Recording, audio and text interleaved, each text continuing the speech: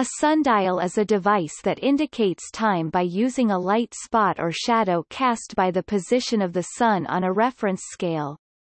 As the Earth turns on its polar axis, the Sun appears to cross the sky from east to west, rising at sunrise from beneath the horizon to a zenith at midday and falling again behind the horizon at sunset. Both the azimuth direction and the altitude height can be used to create time-measuring devices.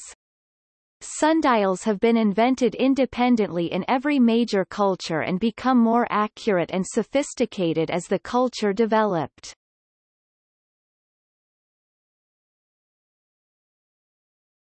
Topic. Introduction A sundial uses local solar time. Before the coming of the railways in the 1830s and 1840s, local time was displayed on a sundial and was used by the government and commerce. Before the invention of the clock the sundial was the only source of time. After the invention, the sundial became more important as the clock needed to be reset regularly from a sundial as its accuracy was poor. A clock and a dial were used together to measure longitude. Dials were laid out using straight edges and compasses. In the late 19th century sundials became objects of academic interest. The use of logarithms allowed algebraic methods of laying out dials to be employed and studied. No longer utilitarian, sundials remained as popular ornaments, and several popular books promoted that interest and gave constructional details. Affordable scientific calculators made the algebraic methods as accessible as the geometric constructions and the use of computers made dial plate design trivial. The heritage of sundials was recognized and sundial societies were set up worldwide, and certain legislations made studying sundials part of their national school curriculums.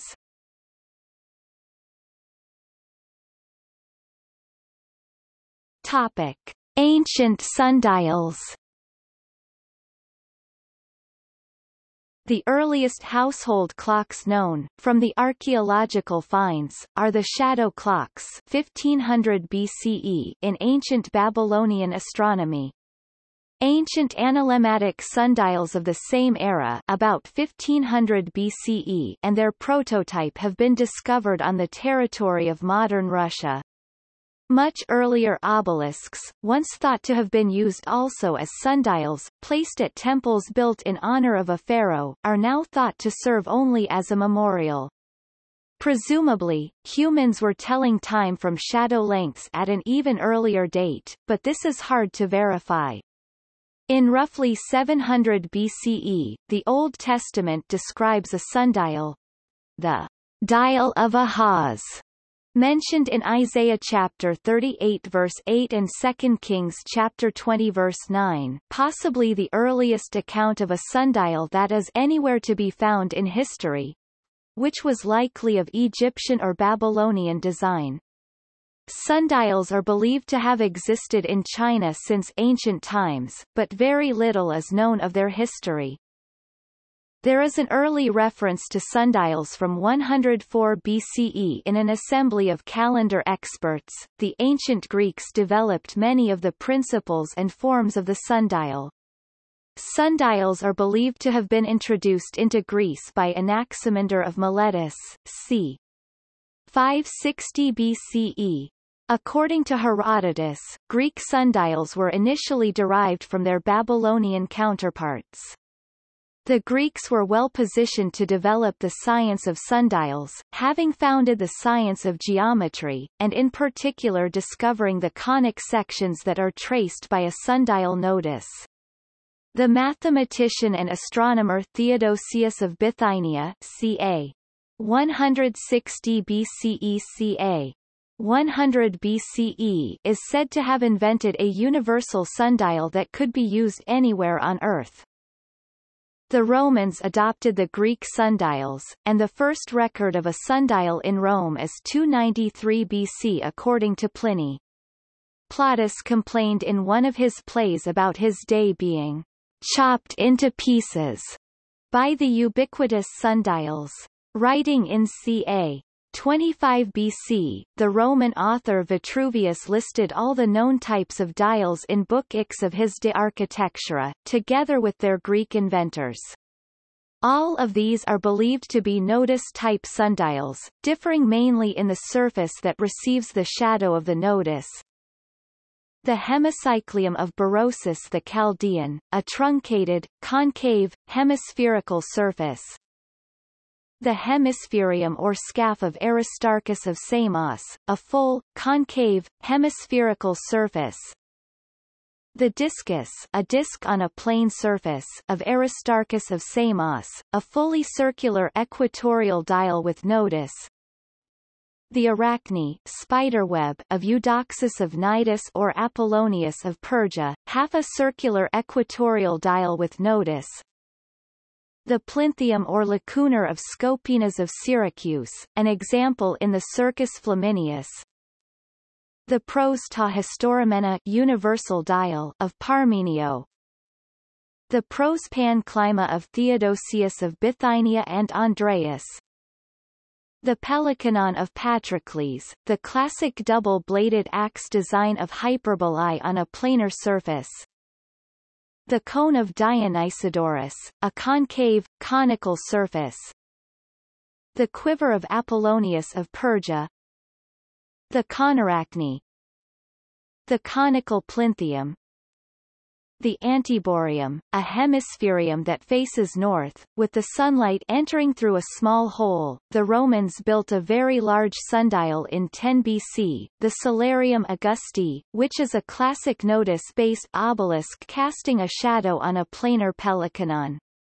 The globe of Matelica is felt to have been part of an ancient Roman sundial from the 1st or 2nd century. The custom of measuring time by one's shadow has persisted since ancient times. In Aristophanes' play, Assembly of Women, Praxagora asks her husband to return when his shadow reaches 10 feet 3.0 meters. The Venerable Bede is reported to have instructed his followers in the art of telling time by interpreting their shadow lengths. However, Bede's important association with sundials is that he encouraged the use of canonical sundials to fix the times of prayers.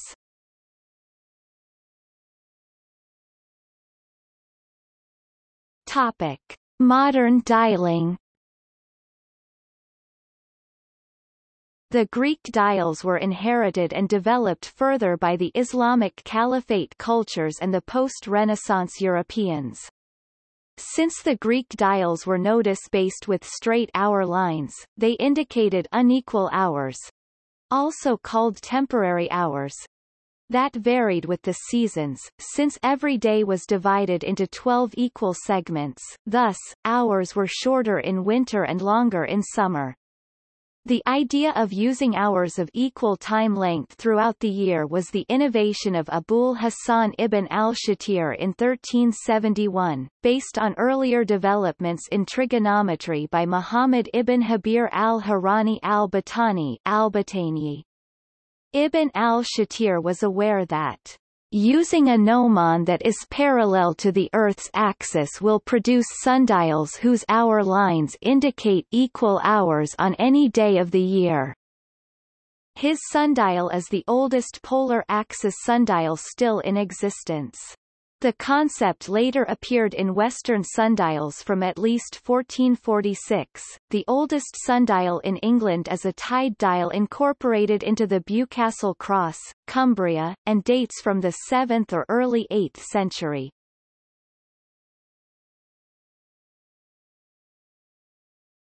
Topic: Renaissance sundials. The onset of the Renaissance saw an explosion of new designs. Italian astronomer Giovanni Padovani published a treatise on the sundial in 1570, in which he included instructions for the manufacture and laying out of mural vertical and horizontal sundials. Giuseppe Biancani's Constructio Instrumenti ad Horologia Solaria ca. 1620 discusses how to make a perfect sundial, with accompanying illustrations.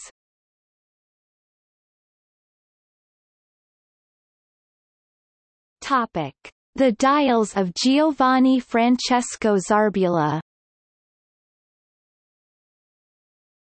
Painted vertical declining dials in villages around Briançon, Hautes-Alpes, France. There are 400 painted dials in this one French department dating from the 18th and 19th centuries. The most famous sundial maker was Giovanni Francesco Zarbula FR, who created a hundred of them between 1833 and 1881.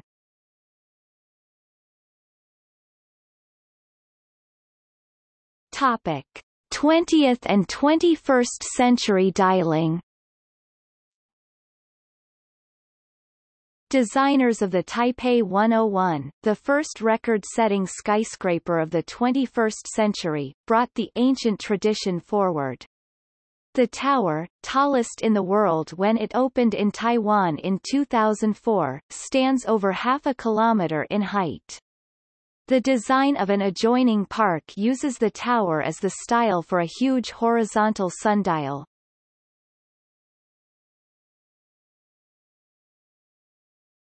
Topic. Gallery Modern Topic. See also Foucault pendulum Francesco Bianchini Horology Scottish sundial the ancient Renaissance sundials of Scotland. Tide dial. Early sundials which show the canonical hours tides of the day. Wilanów Palace sundial, created by Johannes Hevelius in about 1684.